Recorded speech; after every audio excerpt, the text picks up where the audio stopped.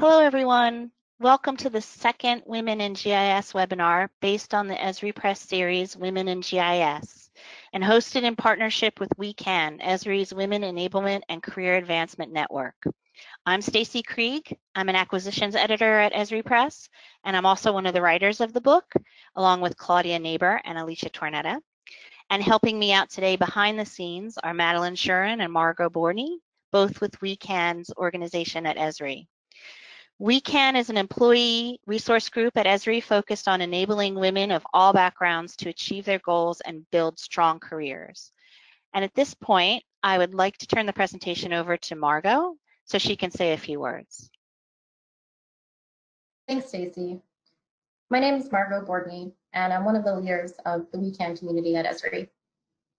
Today, as we're coming together to celebrate and uplift women, and as a group that's focused around that mission, before we start, we feel compelled to pause and acknowledge the pain and outrage many of our attendees in the US and around the world are experiencing right now in response to acts of racism and tragic and unconscionable police violence against Black people in the US. We want to speak up and share a message of empathy and solidarity with our Black community here in the US and around the world and condemn racism in every form. To those in the audience who are deeply and personally impacted by this, we want you to know that we see you and we stand in solidarity with you and your families and your communities.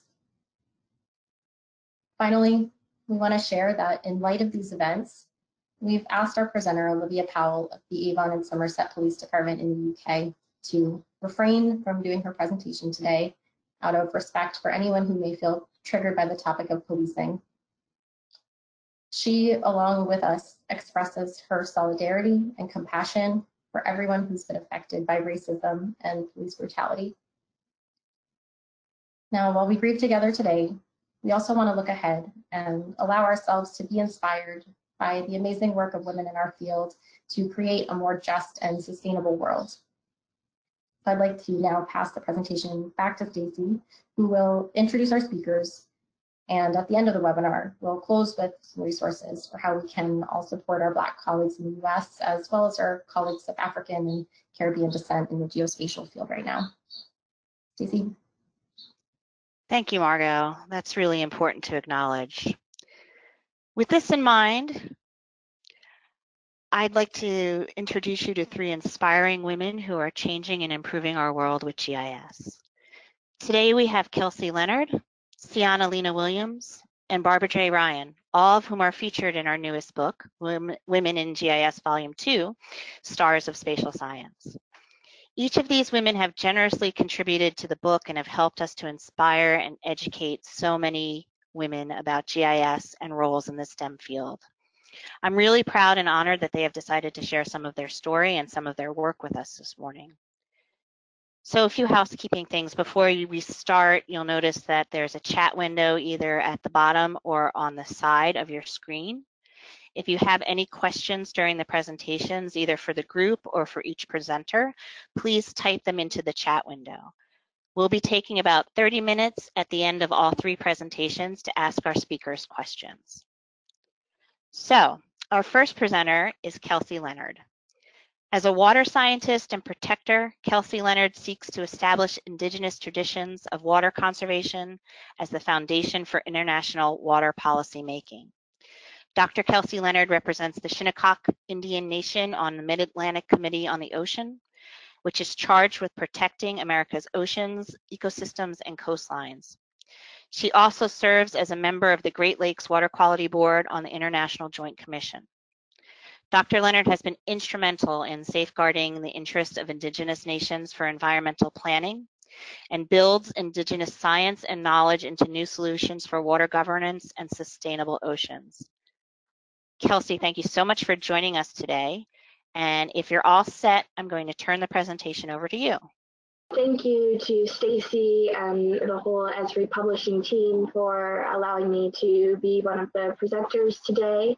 Um, I want to talk with you a little bit about my work in mapping Indigenous water knowledges, and I have my Twitter handle there at the bottom, Kelsey T. Leonard, if you want to uh, live tweet along with this presentation.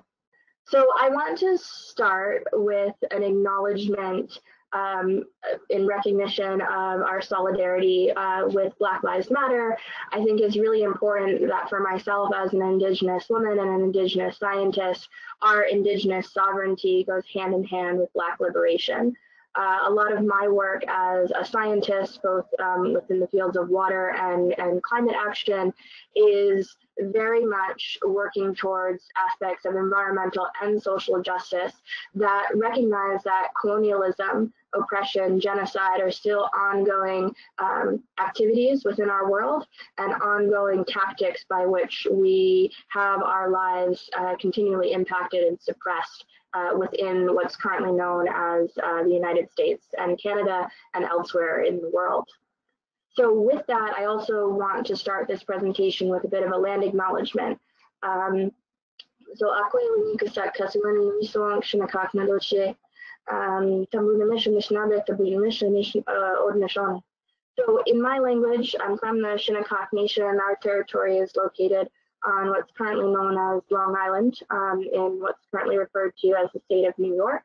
Uh, you can see here that this uh, this particular website, nativeland.ca, is a great uh, space. Uh, it's still in development, but it's a great digital mapping tool by which you can go and find the territory that you currently sit on um, and, and reside on. And, and it's being updated constantly and it's global in its perspective. So I also said in my acknowledgement and recognition of where I come from as a Shinnecock woman that I currently reside in the Great Lakes region um, of Canada, what's currently known as Canada in Hamilton, Ontario, uh, which is on the traditional territories of the Anishinaabeg and Haudenosaunee peoples. So I give thanks to them for allowing me to be here, to be a visitor, to be a researcher, um, and, and to work for the good for all of our peoples. That said, I mentioned to you that I'm from Shinnecock. Uh, this is uh, a map uh, of our territory. Originally, uh, we're situated on the east end of Long Island, what we call Paumanok. Uh, and uh, this whole map, this whole area was our traditional territory um, and still is our ancestral territory. But what we currently have within our jurisdiction under uh, US and, and, international law is the area that's outlined here in, in purple. And I'll go into more detail around that uh, later in, in this presentation. But I just wanted to highlight for you a bit of where I come from and my nation and our territory and that we're coastal water people, um, particularly where our territory is situated right now on what we call uh, the neck or the, the neck of our reservation is a peninsula that juts out into Shinnecock Bay and it's where freshwater meets saltwater and that's very much a part of how I formed my identity as an individual um, and also uh, as a scientist. So a little bit about my background and to how I got into GIS and where I came from to, to get here. I did my undergrad at Harvard University, and then I went on to do my Master of Science in Water Science Policy and Management at the University of Oxford, um, where you can see the image in the center right is me um, during my uh, graduation ceremony, where I became the first uh, Native American woman to earn a science degree from the University of Oxford. Recognizing that a lot of um, the control of water and water rights is informed by law and our legal systems around the world. I went on to do law school in Pittsburgh where three rivers meet um, in what we call the point, um, the Ohio, Monongahela, and Allegheny, and um, was uh, uh did my, my law degree at Duquesne University School of Law. And then when I realized in going to law school that a lot of water law cases, indigenous environmental rights cases are cases of first impression, and they rely a lot on secondary uh, literature and studies and research conducted by scientists, um, and that there was a dearth of that when it came to indigenous peoples in our communities. I decided to go on to do my doctorate um, here in Canada at McMaster University in uh, the Department of Political Science, focusing on indigenous water governance um, which I received my, my doctorate this past fall and I'm now um, a postdoc and an instructor here at the university. So I have a very um, broad uh, academic background, but it's also very interdisciplinary with a focus on uh, advocating for Indigenous rights, uh, water justice, and environmental justice. So you're probably asking yourselves, how did I come to the world of GIS?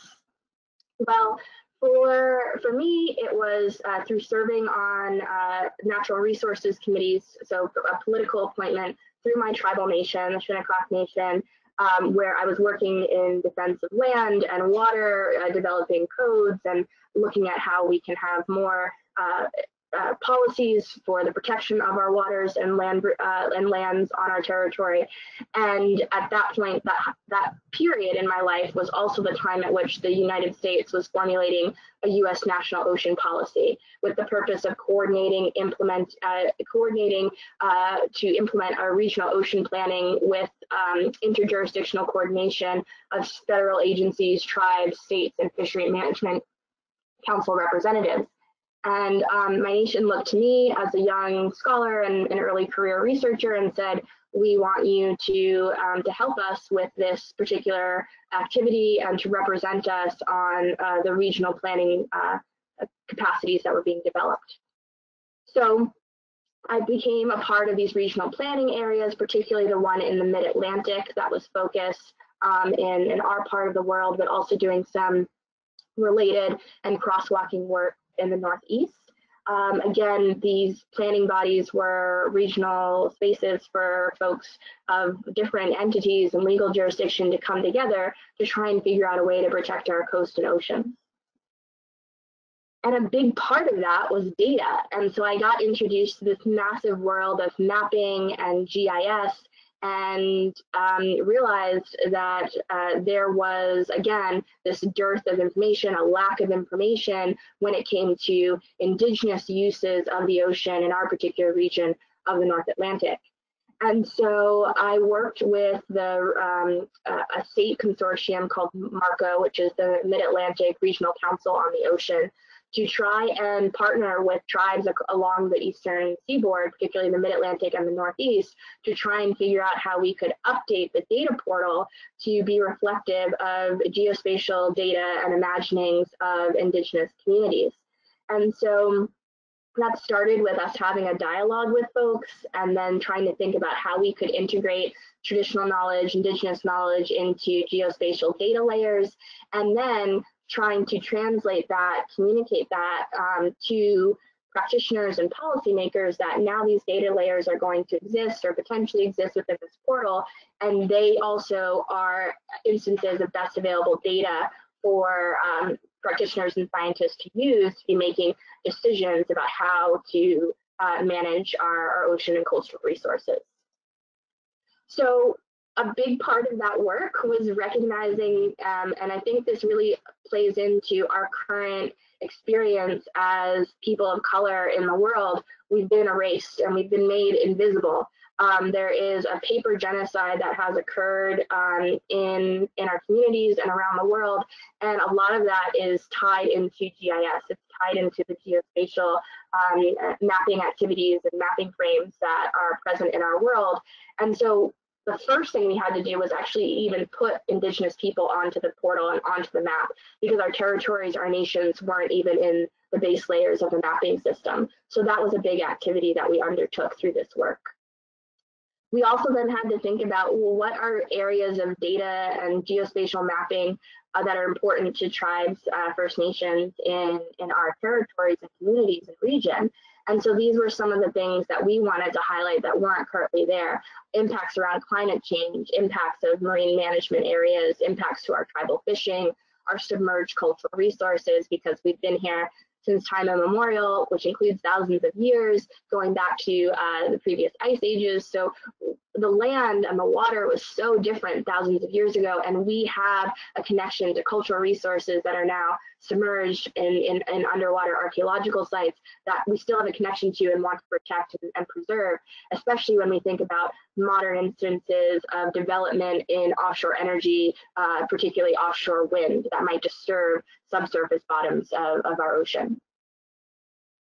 So we then said, okay, well, maps can help with this. In, in part, it's about making sure that there are geospatial data layers available for our indigenous communities to be represented on the maps, but it's also not thinking just in the two-dimensional, but how can we make sure our voices are being heard. And so through the portal, we also created Ocean Stories. So that has video and, and photos and, and sound and audio so that our Indigenous knowledge holders could post things that they wanted the general public to know about how we view um, our oceans and, and how we view um, the restoration of our waters and, and protection of our non-human relations in, um, in our surrounding coastal areas.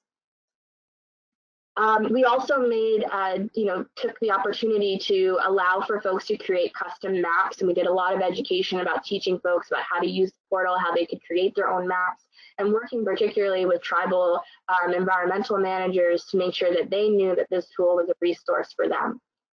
And in large part, that was predicated on an engagement process that we underwent using participatory GIS sessions, to familiarize tribes with the portal, but then also to uh, work with them on mapping and creating spatial data layers that we could include in, into the portal um, with some caveats around uh, security and, and password protection. Given the legacy and, and trauma around the misuse and misappropriation of indigenous data for hundreds of years, if not longer, we really wanted to make sure that we were conscious of that um, we were conscious that open data is not necessarily um, the best practice for tribes and also requires a lot of education, both in terms of non-Indigenous folks, but also Indigenous folks in how to uh, really do open data in a way that is um, uh, culturally appropriate. So when we came out of this work, some best practices that we had um, around ocean mapping were really that we should have consultation um, should be occurring with Indigenous nations about the type of data and research priorities that we're setting. You should have Indigenous authorization when you're digitizing and mapping things that are um, a resource and under the cultural intellectual property of an Indigenous community.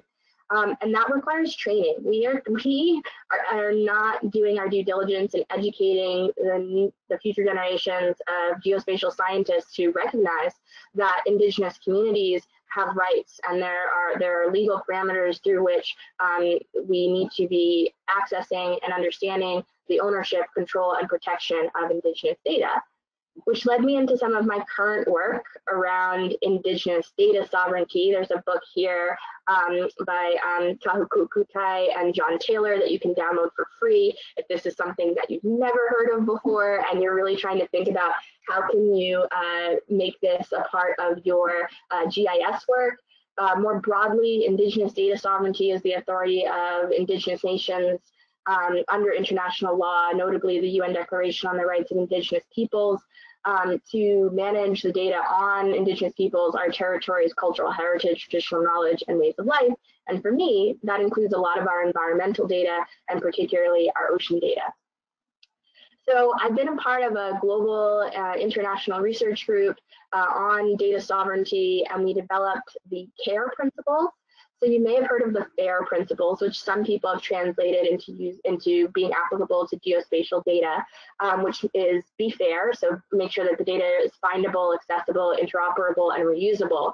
But as uh, we then say to go in second step and make sure it's and care, be fair and care, and make sure that you're accounting for Indigenous people's collective benefit, authority to control, responsibility, and ethics.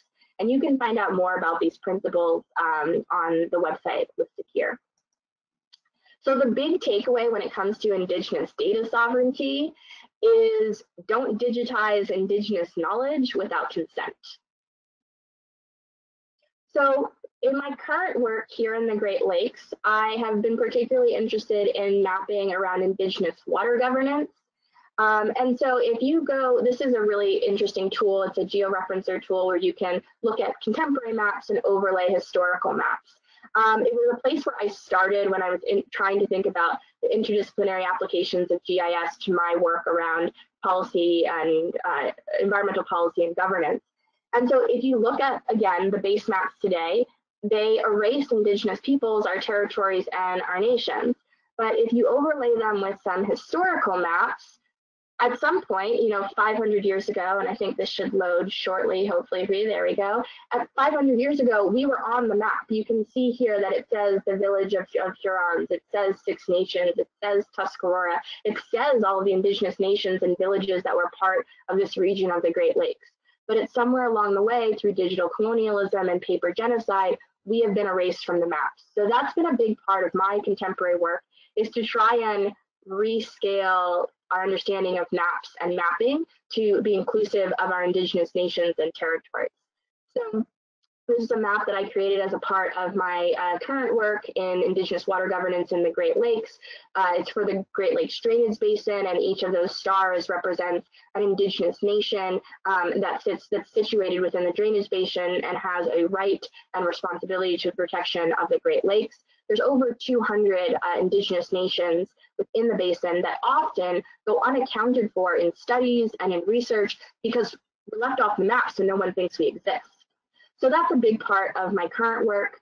I try to integrate that now also into the classroom by doing story maps. Um, so these are some story maps that my students created using the Esri Story Map free applications online related to indigenous water rights in different countries around the world. We partnered with a nonprofit um, they developed reports, country reports on uh, indigenous human rights abuses, particularly around water, that would go to the Office of the High Commissioner um, for Human Rights at the United Nations for the Universal Periodic Review.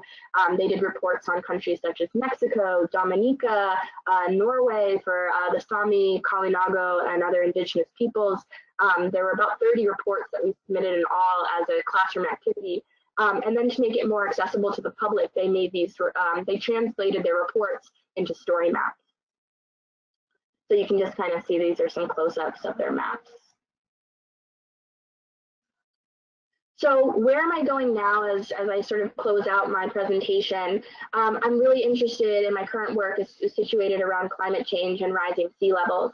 Uh, the images that you see here are um, my uh, First Nations territory, our Shinnecock territory. Um, this is it currently, um, again, a peninsula that sits out into the bay, um, um, adjacent to the Atlantic Ocean. Um, and but this also shows the next image that you will see is uh, the impact that rising sea level will have, whether that's one foot or six feet, you can see that we are, are in very much uh, extreme danger of rising seas. And so my climate change research is looking at the ways in which that impacts our water infrastructure and other um, aspects of our uh, political and economic sustainability. So I want to leave you with where I see GIS going in the future for us as, as Indigenous peoples, particularly Indigenous women when I um, was really at the, I think maybe the height, but the beginning of my PhD, I saw the social media campaigns for women scientists, right? Women in Science, uh, International Women in Science Day, Women and Girls in Science Day, and there were there was no indigenous representation. It was like again we were in this constant space of being erased. And so I started this honor roll uh, with um, honoring uh, the first woman that I that I put on to, to Twitter using the hashtag IndigFemSci, which stands for Indigenous Women Scientists Leading in STEM, STEAM, and Indigenous Knowledge Systems, was Mary Golda Ross. Um, she's Cherokee, and she was the first Native American woman aerospace engineer. Um, you know, very instrumental in a lot of the the early um, uh, accomplishments of NASA and uh, she's since uh, been highlighted by Google. She's potentially going to be on a US dollar coin. And um, you can go and follow this hashtag and see a whole honor roll of amazing Indigenous women from around the world, um, or, or those who identify as Indigenous women from around the world, who are doing just such fantastic work in, in STEM. And many of those folks also include uh, geospatial scientists. And so that's where I see uh, the future being in, in, honoring our living and existing heroes in science. So Tabutni, thank you, and I'll turn it back over to the team for our next presenter. Wow, thank you, Kelsey. That was really interesting and informative, and um, thank you for for sharing that with us. Um, just I just want to remind everybody that if you have questions, please you know put them in um, as the pre presenter is talking, and we can um, save them for the end. And also I see that there's a question about whether this webinar is being recorded or not. It is being recorded and it will be available um, probably about a week after uh, today. So we will definitely um, be posting that through social media and we'll let everyone know um, who's signed up for the webinar where they can find that. So again, thank you so much, Kelsey. Um, and we're gonna go to our next presenter. So our next presenter is Cyhana Lena Williams. Cyhana Lena Williams is a GIS technician as well as the co-founder of African Women in GIS. She currently works as a GIS mapping specialist in the route to market team at Voltic Ghana Limited, uh, which is a subsidiary of Coca-Cola Beverages Africa. There, she creates efficient delivery route maps for product distributors and helps to manage the company's geo-business data. She's an advocate for women in STEM and GIS. And in addition, as a LinkedIn coach, she teaches people the importance of self-branding as well as self-development skills and strategies. She's an active member of Women in Geospatial and Developers in Vogue. So, Cyhana, if you're ready, we're going to hand it over to you. Sure. Thank you so much. Um, thank you so much for this opportunity. Uh, first of all, um, I would like to reach out to my fellow people on the ongoing issue and the movement. I would like us to kind of come in and listen in on this presentation. Today, I'd like to reach out to kind of motivate uh, upcoming generation as Africans and want to kind of reach out to especially your daughters to kind of motivate them that these are some of the fields that they can actually take part in because we are in it and they can also go into it if they have the interest. So today I would like to talk about creating awareness for geobusiness in Africa and building the African women in GIS community. So first of all, I'd just like to share my story. Hopefully this will motivate others and motivate uh, upcoming GIS youths in taking up the step to further their interest in GIS or any other STEM field. So first of all, I actually got inspiration into geography from my brother's high school textbook. He is actually five years ahead of me. So when he was in high school, I was in primary school. So I got interested in it and it kind of motivated me to kind of look forward to watching National Geographic Channel and anything that is geo related. And this kind of moved me and the interest actually grew in me. And through junior high, I kept paying attention to the geography aspect of social studies because that was what was catching my attention all the time. So I realized I had this interest and that kind of influenced my decision to follow that course in high school. So in the high school I got, I actually wanted to combine science with geography. Unfortunately, my school did not have that option. And my mom wanted me to further elective science. However, I decided to choose geography. So here's a picture of me preparing to write my examinations to enter the university. I know my West African English country um, brothers and sisters will actually know this exam. So further down the line, in university, that's actually when I got further exposure to geography and its vast applications. And that was when I found GIS and remote sensing. This was during my third year when I was looking through the elective courses I had to select. I was fortunate enough to research into it and actually get more information. And when I realized that it was a combination of two things I actually loved, that was geography and technology, I decided to take it up full time. So that kind of motivated me to further add it to my undergraduate research. Although I had just a few weeks to submission, I decided to kind of add GIS to my research because I felt that that will actually give it more um, proof and more validity to show what I actually did my research on. So my research was on urban sprawl and water supply and urban Accra. And I decided to add that, to add the remote sensing aspect of it. So in this map, you can see that I actually looked for the images or the satellite images of these six communities. So my study area covered six communities. And these are the communities that you see on your screen. So in the three-year span in one map, I was able to kind of show the gradual expansion of the city from the core to the peri-urban. So we have the core, the mid-core, and the peri-urban. So the peri-urban are the outskirts, that are the rural areas that are now turning into kind of mid-core areas or cities. So further down the line, after my university period, I decided to take up um, my national service. In Ghana, we actually have one year service to the state. And I decided to take that one year service with a GIS and software company called Hansen Geodata. I had actually taken up an internship opportunity there and I was called back to come and offer my one year service.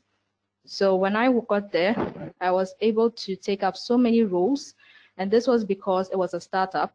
So I'm here with my colleague, he's Benoit, and he actually worked with me as well as with Joel and Justice.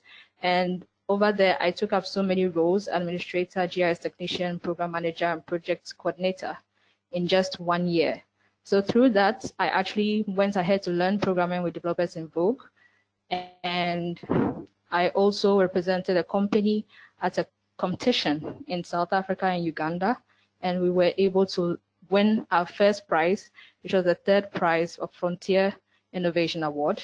And I further went ahead to come to work with my current workplace as Baltic Ghana Limited, where I'm trying to help them apply GIS to their food and beverages business. So I'll get into that a little bit after. Then I further went ahead to teach LinkedIn because I realized that one issue our youth have an issue with, especially in Africa, is that they do not know how to brand themselves in, in time for the job market. They just put themselves out there, but you actually have to brand yourself to stand out and to actually build the skills that you need to stand out and complementary skills to what you already know or what you learned in school. So I further decided to grow as a speaker to share the knowledge and to also teach more about GIS because I realized that it's a low awareness um, topic and it we decided that we had to take this up. So I, on the personal hand, decided to take it up and talk about it. So after a while, I decided to de develop a community. At first, I had it for only Ghana, but then I met Chidima online and then we decided to put up this platform that's African Women in GIS. I'll talk about that a little bit later. And then I further joined Women in Geospatial. So I am currently trying to push the agenda of GIS in Africa, especially its vast applications, and also to kind of groom more ladies to take it up because I, for one, never knew about GIS until I was in my third year in university. Imagine if I had never heard about this where would I have been? So next, I'd like to take up um, the topic of geobusiness. This is actually a field that some people do not know about. In fact, most people, they already do not know about GIS and they definitely do not know that they can use it in business. We know that GIS can be used in environmental studies, spatial analysis. However, have you ever thought about bringing that spatial analysis to your business? using actual GIS tools to derive business insights. So here I'd like to use this platform to create that awareness, especially for African businesses to employ and also to apply these GIS technologies in their business strategies. This can go a long way to help us improve our systems as well as our businesses. So first of all, I'd like to take up for the food and beverages industry because that's where I'm currently working in. And there, these are some of the factors that you'd have to consider. So first of all, you'd have to consider the industry. So as I said, I'm going to take up food and beverages.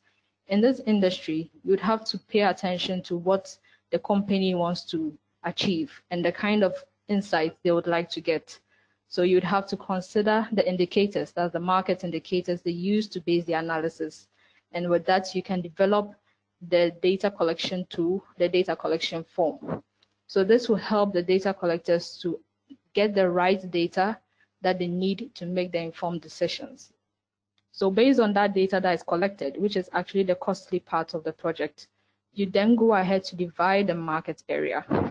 So as a company, you must know the area or the region of any part of the country that you'd like to base your business and where you'd like to serve or provide the customers with your products. And with that, you just go ahead to de develop the divisions of where you'd like to mark as um, a specific category for your business. And based on that, you can get more insights and better understanding. And you can get more insights on how to kind of compare your areas and know which area needs more resources as compared to the others. So in this case, um, as you can see, this is a sample map I made to kind of show or give an idea of how you can divide your market area. So this is one territory.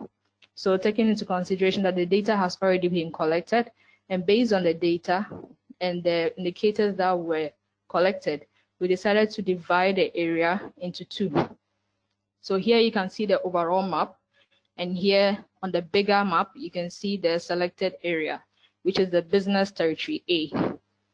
So going down, we'll then go on to see exactly some of the things that you can use your data for, some of the business insights you can derive. So for an FMCG company, that is fast, um, fast moving consumer goods company, food and beverages are usually the number one. So for that, you actually have to consider the amount of products your customers buy.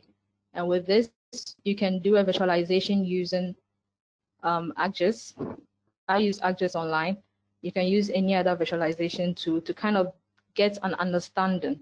It can be based on a time basis. You can check your data and you can visualize it by month or per week or per day. It depends on how you collected the data. So as I indicated earlier, you have to know what the company wants and the kind of data they would like to get and the kind of insights they would like to get from your data. So this will influence a lot of decisions and a lot of things that you'd like to take up. So this is a sample map. Um, the data is actually not right because um, I had to get my own data because no company will provide their data firsthand or would like to give you their data. It's always confidential, as is my work. Okay, so as you have understood this, this can help you to get a more understanding of the concentration of your customers per area and also understand the amount of products that your customers buy. So this can help you get an overall view. So if you're giving a presentation, this is much more understanding than only giving graphs and numbers. You have to give people some form of visuals to kind of appreciate your data more.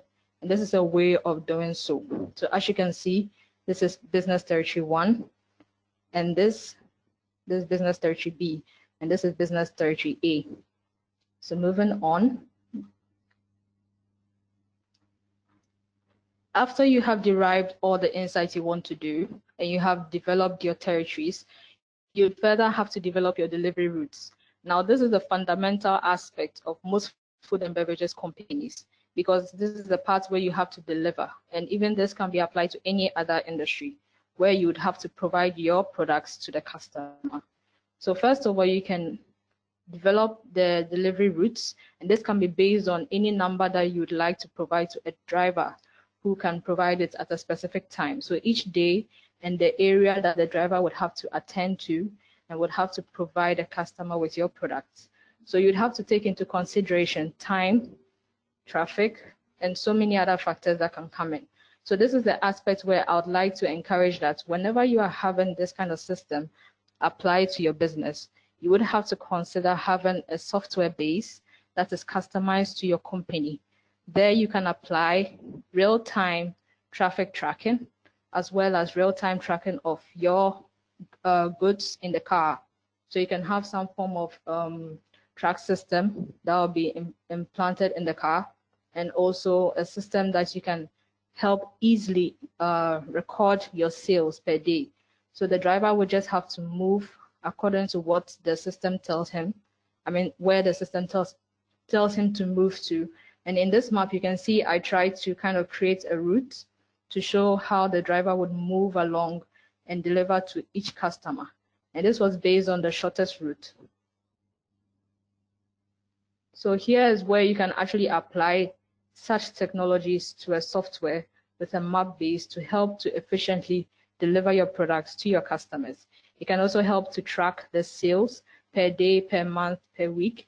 And even after all that information has been collected, you can further make insights and projections for your business. So these kind of applications into businesses is what I would like to encourage so that it can also create more avenues for people with my skill in Africa to get some form of employment and it can also add to your knowledge of data science and other related courses and fields. So just remember that once you have a business that relies on location, GIS can definitely be applied and integrated in your business strategy. So moving on, I'd like to talk a bit about African Women in GIS. We are a new community. We were established officially in October 2019. And this community was actually made up of um, my, uh, my co-founder, that's Chidima Umegu from Nigeria. She developed her community for Nigeria, and I developed mine for Ghana. But mine was a little young, so we had just a few members, but she had quite a number of members from Nigeria. And I know some of my members are watching right now. So as you can see, African Women in GIS came about because Chidima and I actually had a conversation on LinkedIn, and that's where we we actually met.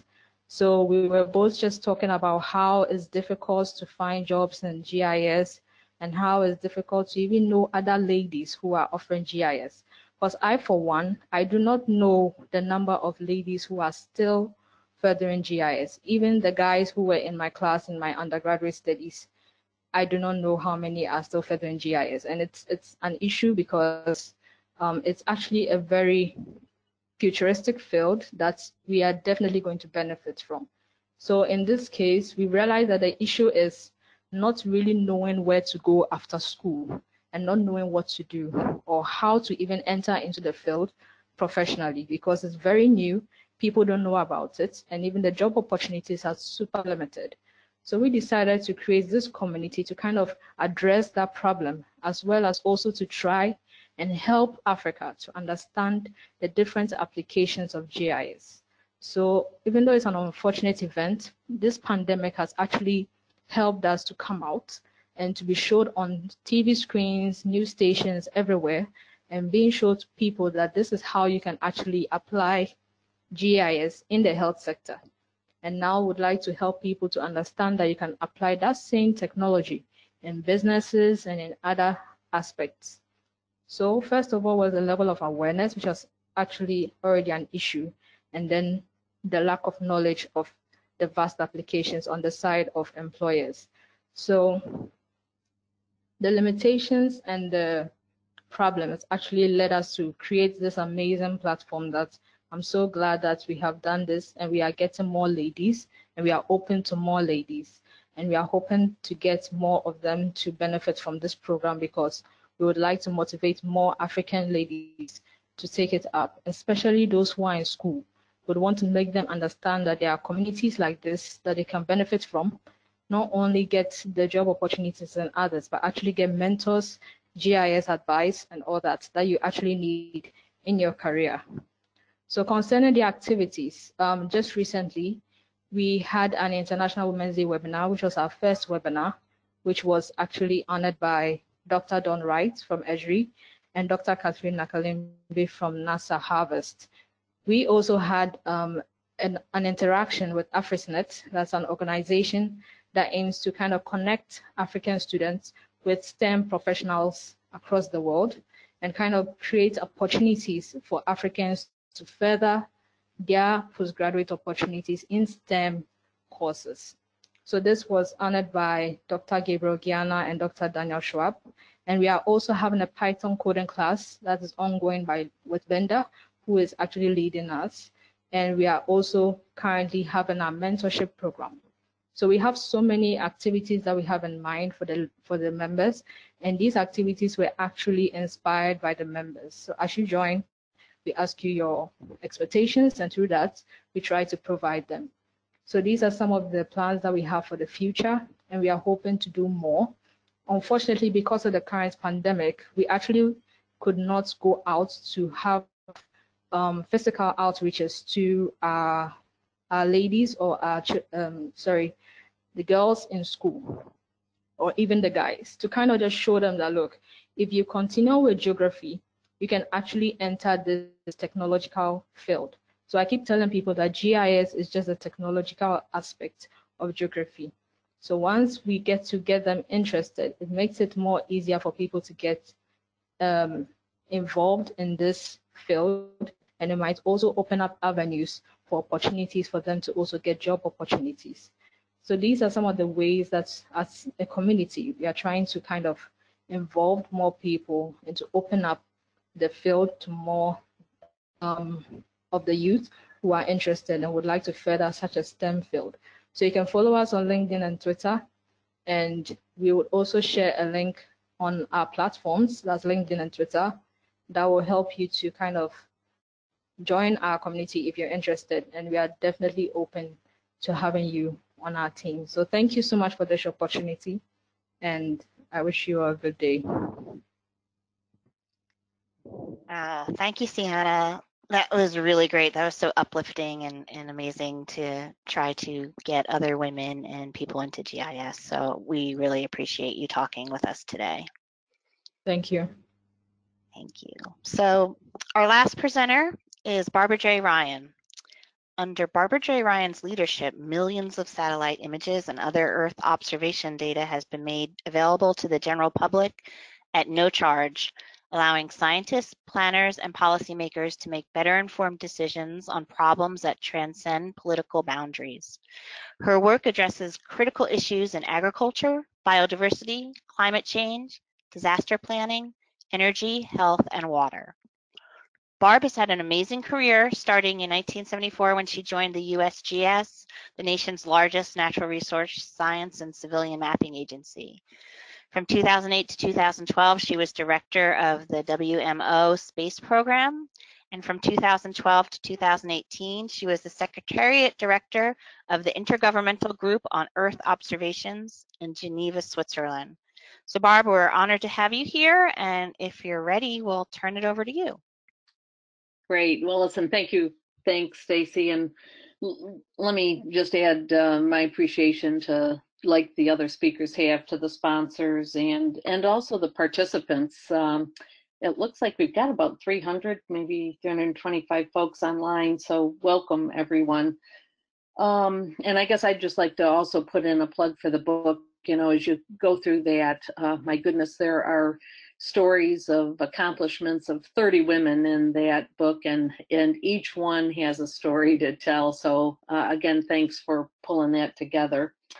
Um, I guess, um, let's see, I'll try and um, I, I, I realized um, for a, a better slide, a better title for this particular slide might have been 68 years and 68 seconds. but anyway, this is kind of uh, it, me at a glance. We'll we'll go down the left hand side of the slide and then work our way along the bottom and up the right hand side. I was born in Dalton, New York, which actually is a town of about 300 people. And as Kelsey was um, putting her maps up of all the indigenous areas in uh, Western, I was Western New York.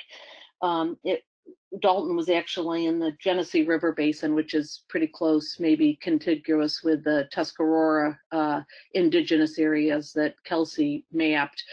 Um, the Genesee River goes right through a park called Letchworth State Park, and it's funny that I ultimately ended up working for the Geological Survey because we often co coined um, Letchworth State Park the Grand Canyon of the East.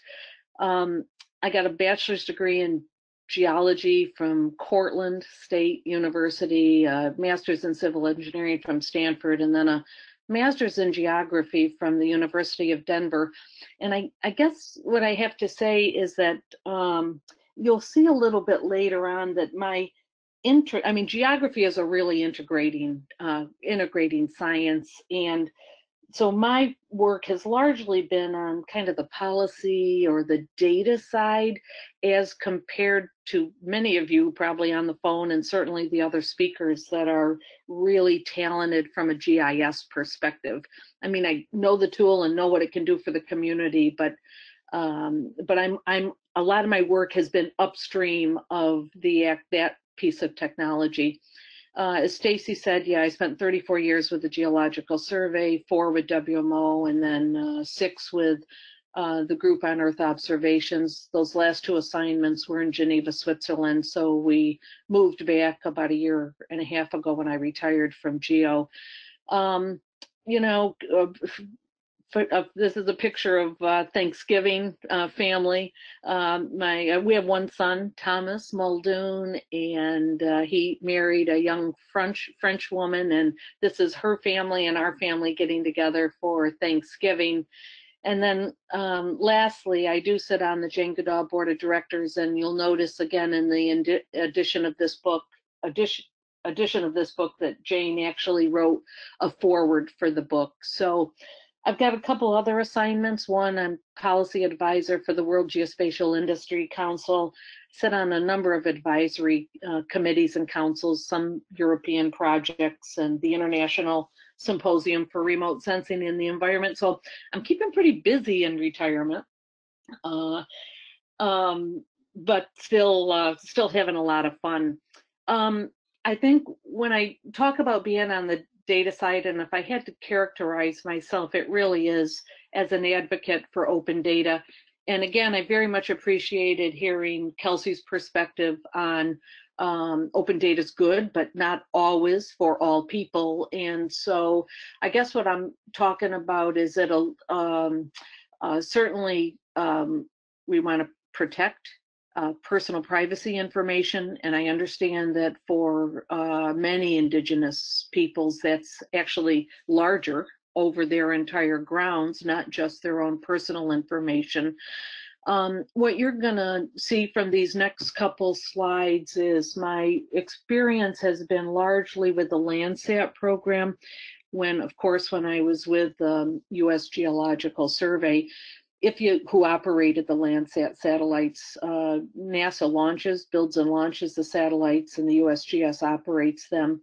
If you look at this graph, it only goes from about 2008 to 2017, but the first Landsat satellite was launched back in 1974, and so um, for 30 plus years, 1974 to 2008 uh, we sold Landsat data. When the government sold the imagery, it was four or five hundred dollars a scene.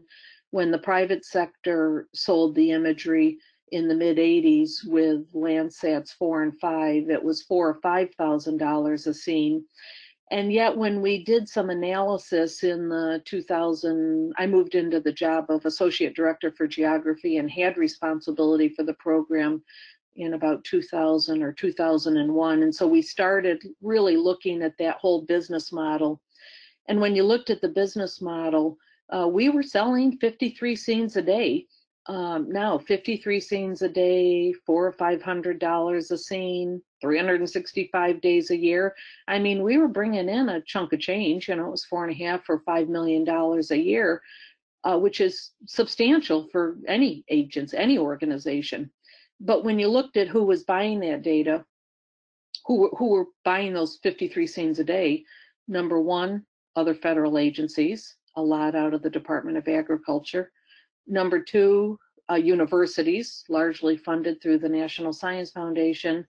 And number three, contractors funded by the Defense Department. So we were really just taking money out of one pocket and putting it into another and all those organizations along the line were incurring administrative costs to track the purchasing and um, you know selling of that data. So we said listen just give it away. Just put it the technology is now sufficient that we can put it up over the web. Just do it. Well you know as you might imagine it took quite a while to um, have that take root uh, clearly, you had to sell it within your own organization, USGS, the Department of Interior, the Office of Management and Budget, uh, the White House, OSTP, and then ultimately the Hill.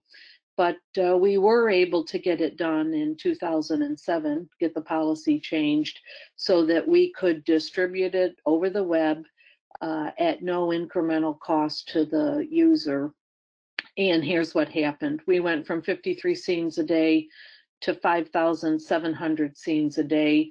Now, this was in 2017. To this day, that many scenes are being downloaded. In fact, I think it's actually even higher than that. Um, but it's not just uh, download numbers. Um, we speculated that if we were able to release that data broadly and openly, you would be able to have an annual economic benefit.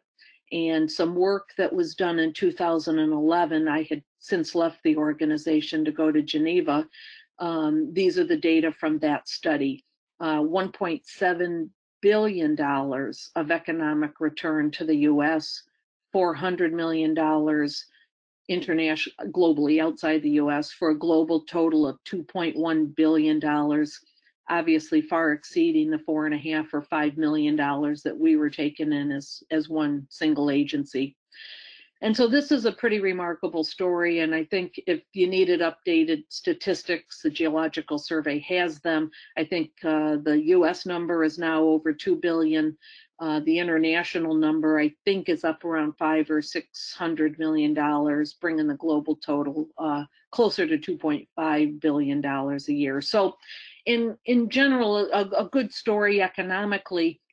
But you know, in listening to uh, talk uh, today, it's not just about the economic benefit either. Um, let me show you some work that Australia has done in something called a data cube. They ingested the entire Landsat archive, 1974, right up to the future, uh, right up to the present um, of data in that archive. And then instead of looking at it from a scene by scene basis, they looked at it from a pixel by pixel basis, so 25 meters by 25 meters for the entire continent of Australia. And then what they said is, well, listen, as long as we've got 25 meters by 25 meters for the entire continent through time, let's go back and look at, let's superimpose a water algorithm over the entire data set and look at these pixels that have always been wet, always been dry, uh, or something in between. And this is what you see in this particular graph.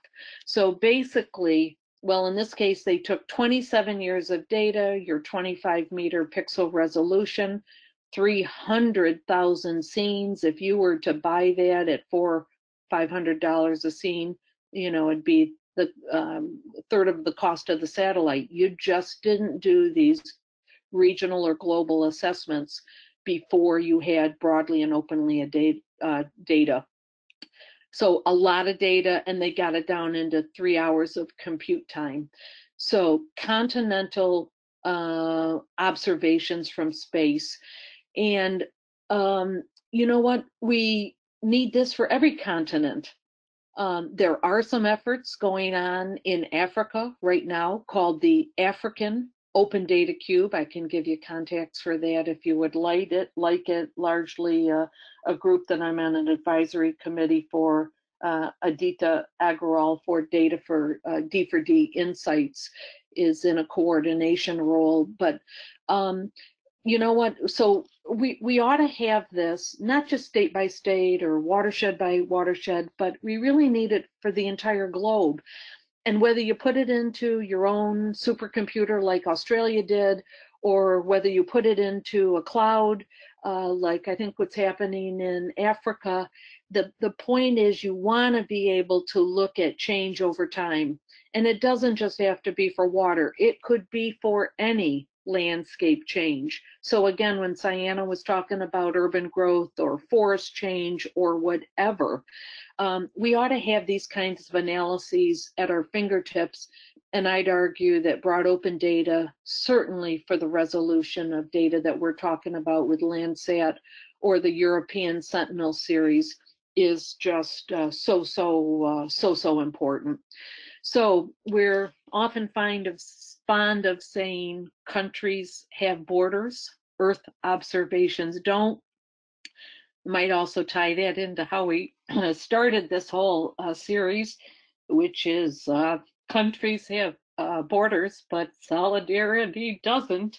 And so I'll uh, I'll end there. We'll turn it uh, I'll turn it back to Stacy for any um, uh, questions that all of you have. Thank you again. Uh, here's my email address and the uh, Twitter uh, handle. Thanks, Stacy. I'm going to turn it back to you and go back on mute. Okay, thank you so much, Barb. That was really great. I appreciate everybody's participation. Um, all three of those um, presentations were amazing. Um, I think we're going to take some questions now. We do have a bunch of questions coming in. So let's see. Um, bear with me. I'm going to kind of go through these as they have come. Um, the first question is for Kelsey. Kelsey, are you there? I'm here. Okay, so um, this is from Stephanie Arsenault. It asks, have you ever worked with other government agencies to include bathymetric and topography data? I will say that um, it's something that we are interested and working on. Um, we have had some partnerships uh, through the Shinnecock Nation with USGS. Um, we I've had some very fruitful partnerships because of my involvement in the regional planning bodies um, with NOAA. So um, we're we are looking at other types of, of data um, and and spatial information in terms of integration, um, and then that also is translated into some of the work that I'm I'm doing at the Great Lakes. So so I guess the short answer is, is yes, um, but also looking to do more and, and hopeful that um, I'm, I'm not a one woman show, right? That we actually can get some of this work to be integrated across all of the federal agencies um, and that they're taking on sort of the FAIR and CARE principles, um, both in the US and Canada, uh, and implementing it, you know, in their own work um, and hopefully, you know, coming to us and saying, hey, what do you think of this, of this data product, you know, um, so that uh, they're doing a bit of the heavy lifting as well. Okay, great, thank you. So this is a question I think for everyone. Um, as a GIS employee in a municipality, what's your advice about how you can improve skills in story mapping and how do you use story mapping? And, and I guess anyone can weigh in if, if they're um, inclined to. Well, this is uh, Kelsey. I will just say, as, as I showed in my presentation, it's really important that we start to introduce the different types of technology and platforms available for story mapping to students early on. I've seen um, different capacities uh, it, it, utilized for high school age students. Um, I know that Esri has had a few competitions at different levels for practitioners, for undergraduate students, for high school students. Um, start your own type of competition even, um, assign it in a classroom. But for me, a big part of, of my pedagogy as an instructor was trying to introduce new forms of, of uh, activities for students to get involved that are also practical that will have real life applications for their careers later on. And so story maps are a great tool. So I would just say a big part of it is integrating that into our education system. Okay, thanks. Anyone else have any comments on the use of story maps? I, Cyhana, I know you used yours for your presentation today. Oh, maybe we have yeah. lost her. There you um, go. Yeah, so um, I actually learned how to use story maps on my own. I'm the kind of person who likes to play around softwares and kind of learn how to use them. So you can task yourself to create um, themes that you'd like to create story maps on, then kind of gradually watch a few videos on how to use them, and also just start creating um, your own story map. So it's actually free to sign up to make your own story map, and you can do that with, I think, ArcGIS Online to kind of get access to that. So it's free. You can just go online and just start to play with it, watch videos about it, and you'll definitely be able to use it. Great, thank you. Um, so let's see. Um, there's a question for Cyhana. Um, is it possible to use um, GIS in education field? And this person's asking about uh, lower grades. So have you ever had any experience working in um, schools or kindergarten? That's what it looks like they're asking. Okay. Um, unfortunately not. Uh, but that was actually part of the plan for uh, African women in GIS community to kind of showcase the software to um, children of all ages. But um, yeah, I think it's something that would have to look into that's post Corona to kind of get mm. that running. So we haven't yet started that, and we are yet to do so. Right. I know we're trying to get GIS into the lower grades, so. Stacey, I might jump in on that. This is Barb. Yeah. Hi. Yes. So I don't know of any applications of GIS in those lower grades, but what I do want to say is, uh, particularly for any educators on the line, it is just so important to get the kids outside because I know for me growing up, and I talked about this in the book a little bit, and Jane Goodall actually talked about it in her foreword, is that her, her her love really certainly mine for geography really came at a very very early age just being out kind of playing in the creek or looking at the connections that actually happen um, out on the in out outdoors and so um, while it may not be a specific question to gis i do know that kids have a, a tremendous ability to integrate uh, across systems if they could just go outside and see the connections that you see every day. Thanks. Yes. Stacey, this is Kelsey. I'll, I'll add there too. Um, one of the things that we've been working on here in the Great Lakes region with um, some community leaders and elders from indigenous communities are um, Mother Earth water walks. And there's a program that an elementary school teacher out of Thunder Bay, Ontario started to honor the sort of larger water walk program um, called Junior Water Walkers. So you can Google Junior Water Walkers and search the hashtag um, and it's a whole program about restoring our connection to water and uh, how to understand indigenous uh, epistemologies of connecting to water.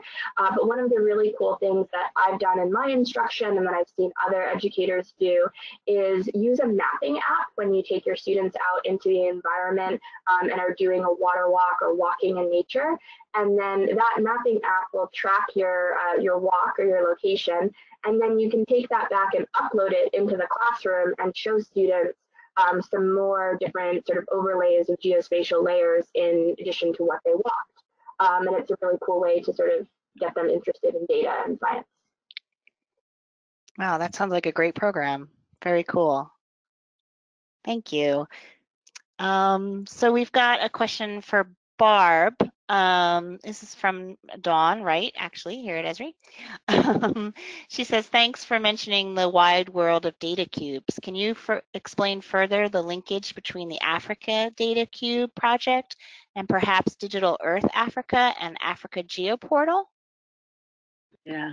Hello, Dawn. Um, great hearing from you. And I'm probably not the best one to uh, ask that question because um, when I was in GEO, the and the executive director, um, it, we were just one. The Australian Data Cube was just coming in, and so obviously we, you know, launched the vision that this is absolutely wonderful for, for Australia, but we need it for every continent, and we need it globally. And that's when uh, Adita and a number of people, Australia with some support and some leaders out of Africa got together. I want to mention Andiswa Mlisa in SANSA down the space agency down in South Africa got together and formed a consortium. And so I'll tell you, I mean, what I would do is um, for anybody that wants to get more information on it, drop me a line and I'll do the homework in the background to get you to the right person who can talk about the evolution of each one of those components that you've talked about, because they may be different names for the same exact effort, okay? Great, thank you. Um, thanks for offering to help with that as well. That's terrific. Um, so we have a question for Kelsey. Um, can you expand a little bit on the issues surrounding open data and the preservation of Indigenous data rights? How much time do you have? I think this is where I would start. But I would I would say that um, there, at least within what's currently known as the United States and Canada, there are over um, a thousand Indigenous nations uh, that are in a government to government, nation to nation relationship with the governments of the United States and Canada. Uh, there are also other sort of numerous hundreds of other indigenous communities uh, uh, across North America, um, with each with their own distinct philosophies and rights and understandings of data governance and have the authority to determine the way in which their data should be used and should be made available to the public in the context of, of, an, of, open data platforms. And so I think what we're advocating for is that each of those nations and communities, you know, per their rights and distinctions under international law, have the ability to determine their level of participation in, in, in open data um, and in the, the um, proliferation of, of open data policies uh, because currently right now sort of the the opposite of that what's the sort of status quo is that uh, these settler state governments are making the determinations without the consultation of indigenous nations for the most part. They're getting better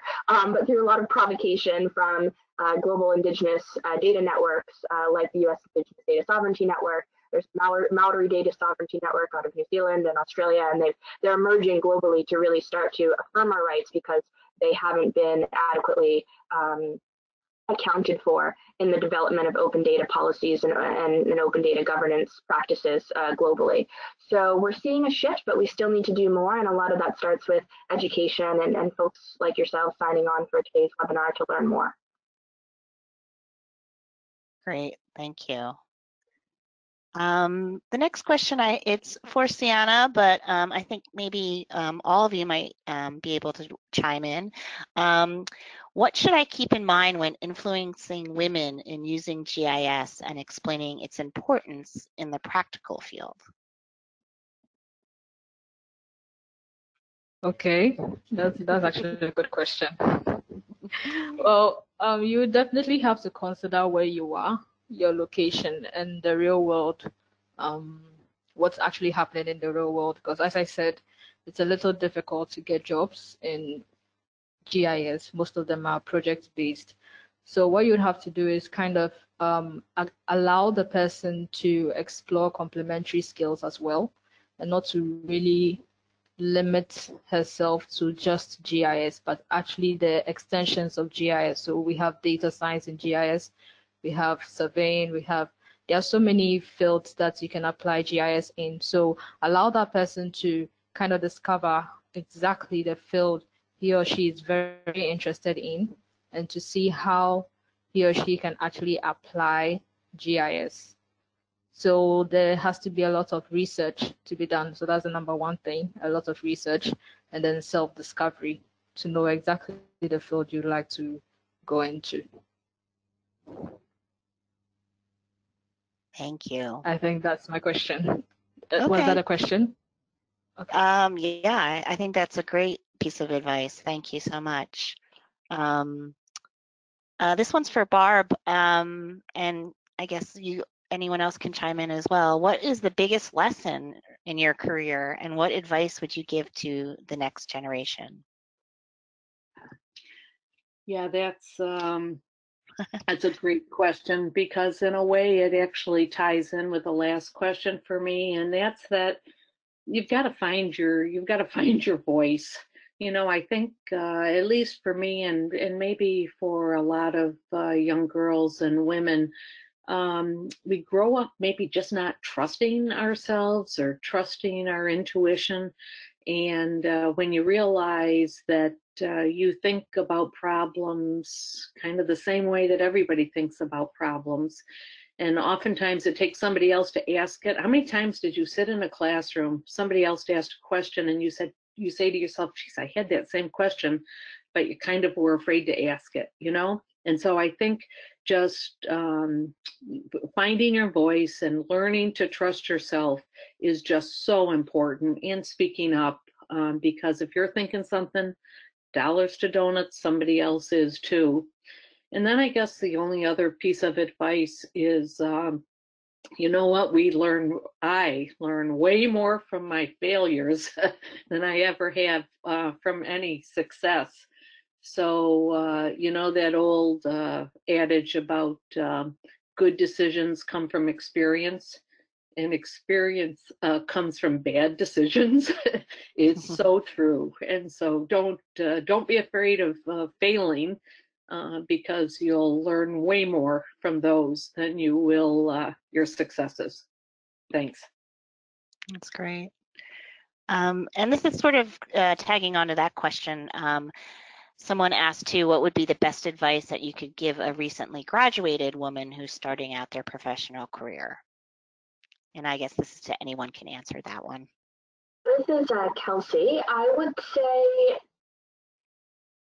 that it's really important to, I, you know, I think what was mentioned earlier about not limiting yourself and being open to to new possibilities or things that you didn't necessarily think were, in your discipline. Um, I think what we, what I encourage folks to do is think outside your discipline. Think about how you can you know translate your discipline to to other disciplines and encourage that interdisciplinarity um, and and you can do that in so many facets of your life and so i would say as a new grad the way in which i came to my current career was not necessarily by finding a job description like oh all of these things that i now do are there um, it was a lot of you know volunteering of my time that then led to other types of positions and expertise it was um, following my passions and, and being involved in things that um, maybe weren't in my job description, but eventually build a built a skill set that now makes me, um, you know, very much, much sought after in my field. So, so yeah, I, I would encourage folks to follow your passions, to think outside the box, and um, as an early career scientist, a lot of, unfortunately, I think we're getting better, but unfortunately, a lot of your time is going to um, be expended in voluntary in voluntary and volunteer capacities. But I, if my experience is, is any testament, um, it will pay off in the long run um, if you can if you can bear with it in the in the interim. Thank you. That's great advice, I think. Um, so let's see. Um, sorry, I'm just scrolling through the questions.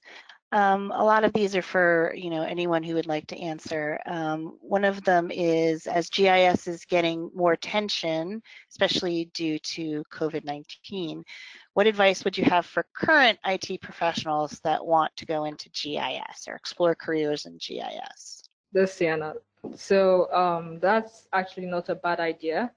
Um, and I would also encourage them not to um, put away their IT skills because they'll definitely need it to complement their GIS skills. So what I'll say is if you are genuinely interested in it and you know that no matter what you can stay in it, I'll say you can go ahead to start learning it. You start with the basics and understanding exactly what GIS is and kind of getting a sense of how to think geographically because that's very important you can understand the software, but if you can't sorry, if you can't think geographically, it's a little difficult to make insight and spatial analysis. So I'd say you first have to kind of add it up to your old skill. Don't forget your old skill, and also try to um, think about things geographically, and also to go into it if you really feel that you that's the field you want to go into. So that's just. That's just something that I'd like to add. Yeah, this is Barbara again. I might just add to that because I, I think Cyhana's absolutely right. And that's just um, if you're going to do it, still keep an eye open for the broader related issues, you know, so whether it's the protection of personal privacy, you know, because you're combining different data sets, neither of which, both of which might have, you know, been protected, but by combining them, they no longer are protected. uh, or the indigenous issues that related issues that Kelsey talked about. There, there are other policy implications of that work, and I would just say it's it's not just about you know kind of the ones and the zeros, you know, or the the maps. There are there are related issues, and so always keep an eye open for those as well. Thanks. Thank you. That was great. Um, so there was a question, I think that um, for Kelsey. Let me just find that one. Sorry, I'm.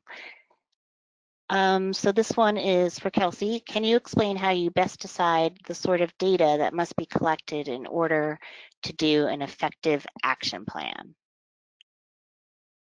That is an awesome question. So at the regional level, um, that was about two and a half to three years of consensus building workshops um, across um, different jurisdictions, so including tribes, uh, state agencies, federal agencies, and fishery management council entities, as well as uh, public listening sessions where we were working with the public and with um, stakeholders, uh, including environmental NGOs, industry, uh, other um, stakeholders in the region to determine what types of uh, data layers are important to include not only in the portal, but then to inform our decision making for an ocean action plan. Um, so that did, that then led us to the to conduct a regional ocean assessment. So sort of creating a, um, a baseline uh, data catalog that then informed um, in, informed additional data layers that were included in the MARCO portal.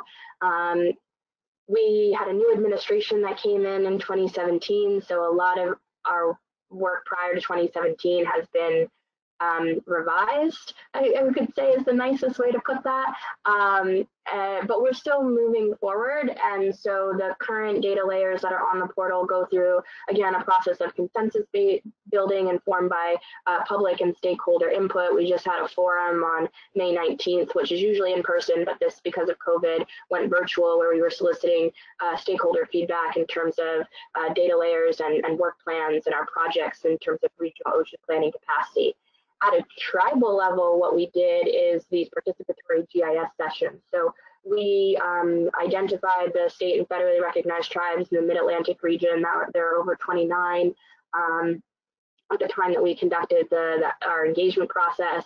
And we went and we we hosted listening sessions in the region with tribes.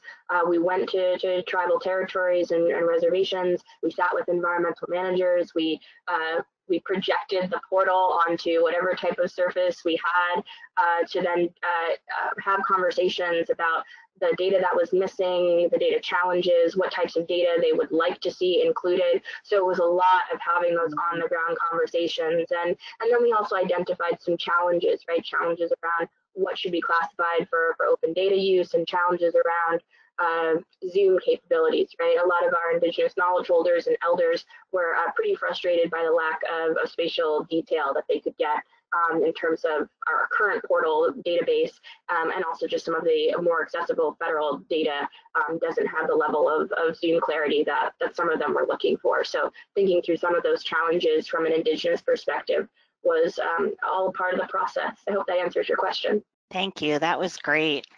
Um, so we just have a few more minutes. I'm going to um, put everybody's contact information up on the screen. So um, I think we could probably take one more question.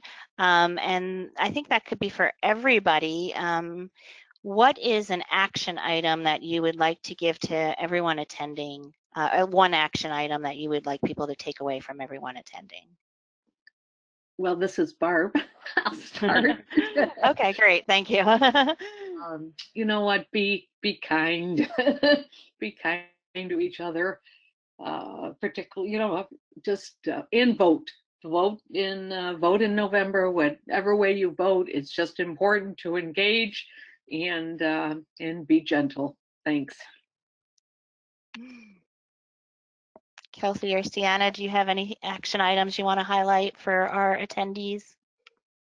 This is Kelsey. I would just say um, to please familiarize yourself with the uh, Indigenous territory that you currently reside and, and occupy, um, and, and in whatever capacity you can to advocate for, for social justice. Um, racial justice, environmental justice, justice in general for all of our peoples because we really need it now more than ever. And I think a good first step in doing that, um, particularly from our perspective, both for Indigenous sovereignty and Black liberation, is to familiarize, yourself with the Be Fair uh, and Care principles um, of Indigenous data sovereignty, and, and in particular to uh, understand international law by looking up and uh, reading the UN Declaration on the Rights of Indigenous Peoples and thinking through a data scientist lens and a geospatial lens, how you can uh, start to operationalize many of those articles from that international declaration in your work.